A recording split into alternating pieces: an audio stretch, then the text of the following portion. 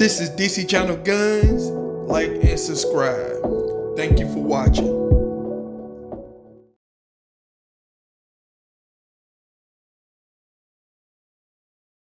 What up? This is DC Channel Guns coming you a gun video. Appreciate you watching, like, share, and subscribe. So I want to appreciate all my subscribers. want to appreciate all the information. I appreciate y'all for coming to the video. Appreciate all the support and love. Appreciate everything that y'all do for the 2A community. Like I said before, y'all the star people. I'm just a mess. I'm just average citizen. Trying to uphold the Constitution, the Second Amendment. So with that said, I appreciate y'all for coming over here.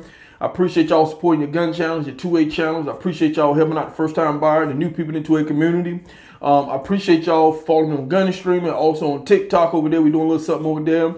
And a huge shout out to y'all that come over here every single day through the good and the bad, ups and downs. Nothing moves in straight line, people. So we're gonna get into it. We're gonna talk about concealed carry, people. To my concealed carry is one of the fastest moving thing right now in the headlines and stuff. You got a lot of states right now that are passing laws that are allowing constitutional carry. So we're gaining states on that. Um, you know, it just you know so many people now um, you know, just seeing, you know, how many things can get in the way of someone getting a concealed carry permit.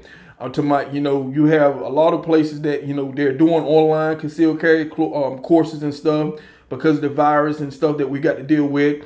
Um, you having some, you know, who stopped the online courses and, you know, are going back to the classroom stuff. A lot of states I've been seeing has done that. But all in all, people, constitutional carry is gaining momentum and steam and everything.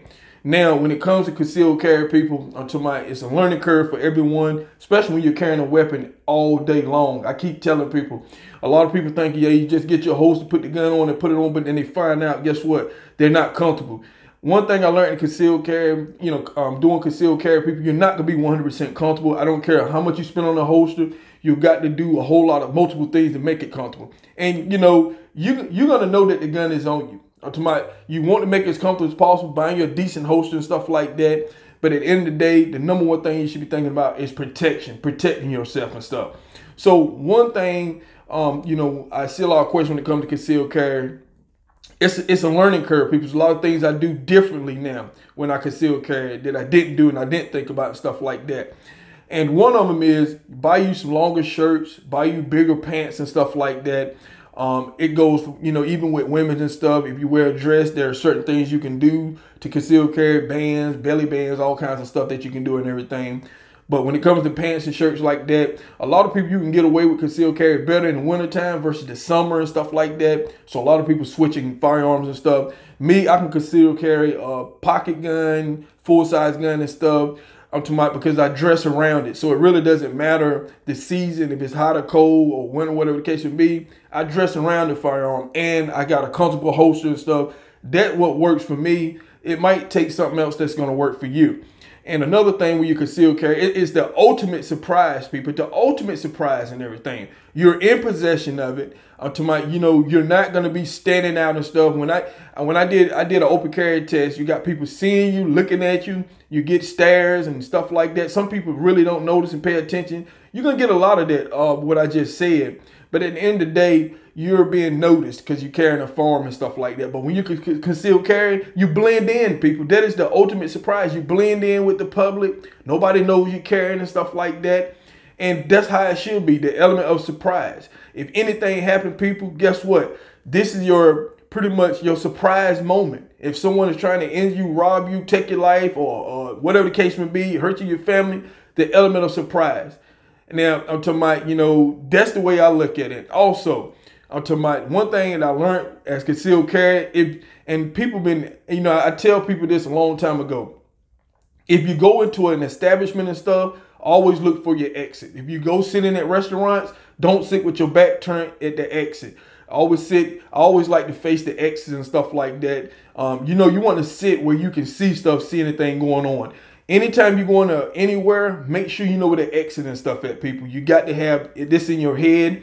I'm talking about it's not that you, you know, you you're going crazy about a whole lot of stuff, but in this time, you always got to have a plan. So anytime I go somewhere, you have to have a plan. It amazed me a lot of people don't pay attention to exits and establishment and stuff. I watched this video long time ago um, it was an incident that happened and stuff. Everybody's trying to go through the same door when there was three or four exit doors around them. Um, to my so a lot of people, they mindset wherever they go in at, that's where they try to go out at. You have to reverse that mindset and look at something different when you're a concealed carry. You're gonna look at the whole thing that you do on a daily basis different, people. Trust me. And a lot of you are brand new and y'all asking questions about concealed carry, especially on some of my old videos. But you know, I don't care what gun you get. There's people who's not even comfortable with pocket guns. They just got so many guns until it's not even comfortable for them. You're gonna have to dress around it, people. You're not gonna be 100% comfortable. Uh, to my, you have manufacturers doing everything they possibly can. They're building farms around the magazine. They doing everything, people. And at the end of the day, you gotta have to guess what? Dress around it. You're gonna have to do a little something. I think dressing around it is a big, even bigger um, than just holsters too, people. Because getting a little bigger clothes and stuff like that and stuff will help you out a lot. It works for me and stuff. I'm a big guy and stuff. I'm not small, but dressing around it even makes it even better for me.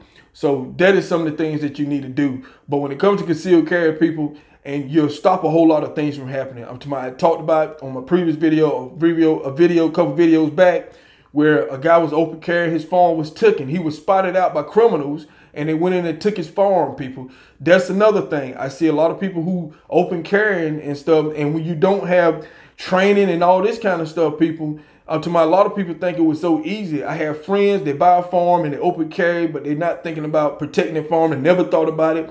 And when I start asking them questions, it's something that never came around their head or never thought about. You think because you're carrying a farm, nobody's gonna test you. People, you better think wrong.